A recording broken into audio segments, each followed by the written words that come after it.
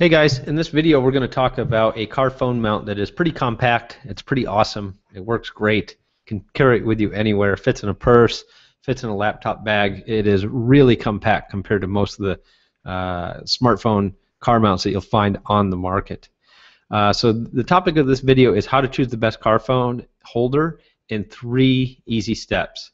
So in this article I'm going to share with you my experience on how I picked a really good car phone mount uh, just by researching online and buying a few of them and testing them out uh, for my smartphone. There, there are a lot of choices out there, and you may not be sure what to buy uh, because I've seen everything from you know little suction cup holders to vent mount holders to windshield holders to kind of beanbag type holders that sit on the dash. And you know I wasn't sure what to get, so I said, "What the heck? I'm just going to go ahead and purchase a few of them and see which one works best." Um, and the question that, that I saw the most and I was thinking of is which is better? Is it dashboard, windshield, or both? And there are multiple variations cell phone holders for your car, and you'll find a lot of them do say they're for the dash and for the wind windshield, or maybe they're just for you know the dashboard alone or windshield alone. And then some fit in the CD player with a little piece of plastic that sits in a slot that fits right where the CD goes. And then there's some that go on the AC vent. And you know, there's a lot of variation in the holders, but I wanted one that when I'm driving, I could see my GPS. Um, you know, kind of like an example, the picture that you see here on the screen. I wanted to be able to have the phone sideways so that I could see it in the window when I'm driving down the road with GPS instructions, but still keep my eyes straight ahead on the road.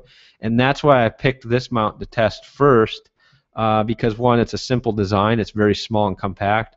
It mounts securely to the windshield by just turning this small base that you see down here. You just push the suction cup, the silicone suction cup against the window, turn the base into what it's called the lock position, and it stays really, really firm. I pulled on that mount really hard and it did not come off the glass. So I was pretty impressed with that, you know, just the locking motion and how well it held.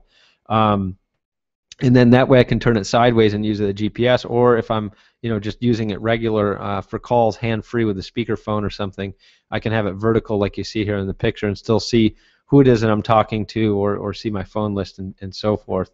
Um, so one of the things you want to make sure of is that the base, um, which is here, is made from silicone so that it can stand up the heat and cold really well, and it tends to be a better uh, suction cup. It sticks to the glass a lot better um, and then in combination with a knob like this rather than just a straight um, suction cup, you actually turn this dial clockwise or counterclockwise into the engraved uh, lock or unlock position, and that's what holds the phone onto the windshield really firmly or allows you to remove it. So to unlock it, you turn it to the unlock position, lift up on that little tab right here, and it comes off the window pretty easy. So that's one of the biggest things that I liked is it stays put, and then two that it is super compact. You can see here when it's folded up, you can stick that thing into glove box, into a purse, into your um, you know briefcase or laptop bag, no problem. Take it with you if you're going on a business trip.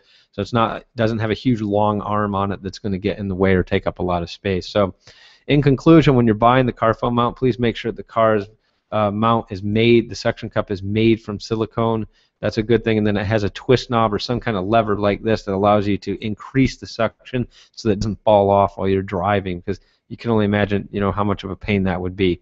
So there's a link below if you're watching this on YouTube. You can go check out the product on Amazon, which you can see here, or you can go to Amazon and search Inuri, I-N-U-R-I, and find the product there. Or you can go to inuriproducts.com, and there should be some links below if you're watching this on YouTube.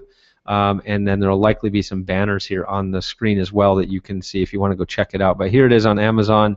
Uh, it's just a you know small product, and if you're part of Prime, obviously you can take advantage of that and get really fast, and if not free shipping and so forth. And right now it's on sale, um, so hurry up and go over there and check it out while it's still on sale. It's a pretty good deal.